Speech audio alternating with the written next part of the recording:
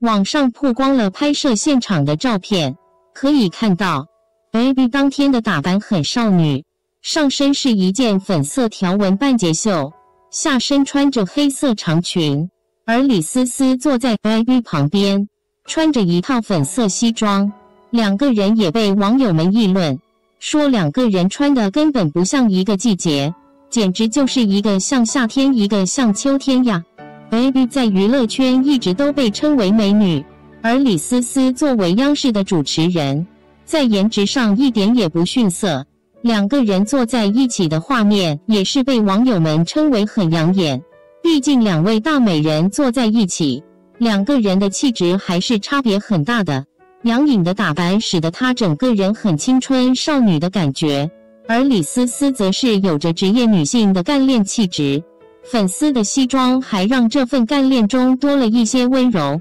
能做客央视节目的艺人不多，而这次他参加央视节目，也是对他的一大肯定。从现场观众的反应来看，Baby 还是很受欢迎。